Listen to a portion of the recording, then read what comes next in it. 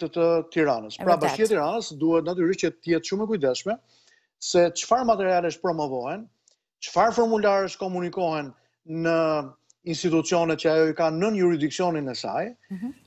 Në qoftë se është fjala për kopshtet publike apo për kopshtet private, gjithashtu dhe kopshtet private të cilat janë po themi, në një mënyrë jashtë mbulimit të bashkisë së qytetit të Tiranës, natyrisht që është drejtoria rajonale, është drejtoria arsimore, e cila i licenson, dhe në fund të ditës duhet kuptojmë këtë që... Dhe ushtron një kontrol periodik, logikisht. Po patjetër që duhet ushtrojë një kontrol mhm. periodik. Ne edhe qytetarët, prindrit, duhet dinë se çfarë hyn dhe çfarë del në kopshtet ku ato çojnë fëmijët e tyre. Imagjinoni se çfarë ndodh.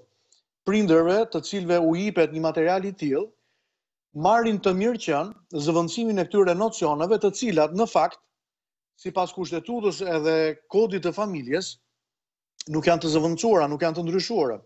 Pra, a është provokim për të parë masën e intensitetit të opinionit publik, pra si do të reagojë opinioni publik në qoftë se do të kemi implementimin e zëvendësimit të këtyre nocioneve në një të ardhme të afërt përmes projektligjeve që do të paraqiten në parlament.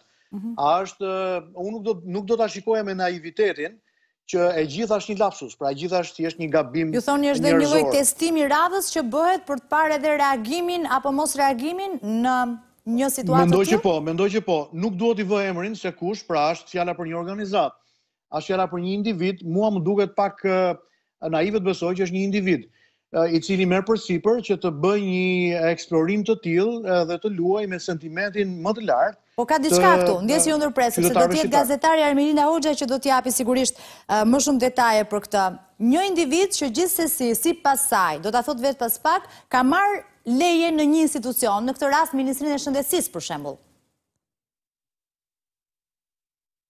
Dakor?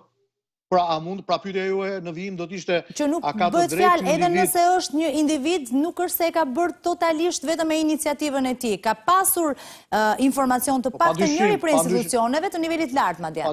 Padyshim që kjo, mhm. shiko, që një një një material i tillë, një një formular i tillë të hyjë brenda spektrit të institucioneve të edukimit parashkollor në Republikën e Shqipërisë është diçka që nuk mundet të hyjë dikush sikundër fluturon një mushkonjë apo një mizë dhe hyn nga dritarja brenda në në, në shtëpi apo në institucion.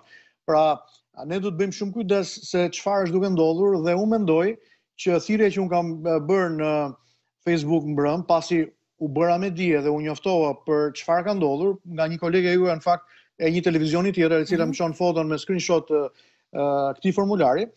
Thirrja ime është që institucionet të cilat kanë në juridiksionin e tyre, nën autoritetin e tyre, kopshtet, institucionet e edukimit parashkollor, por qoftë dhe shkollor, apo dhe çerdhet, duhet të jenë shumë të kujdesshme për të monitoruar në vijim se çfarë ndodh lidhur me kurrikulat shkollore, se çfarë ndodh lidhur me uh, materialet e tjera në vijim, mm -hmm. se mhm. çfarë ndodh me sigurinë që fëmijët tanë në këto kanë në këto institucione.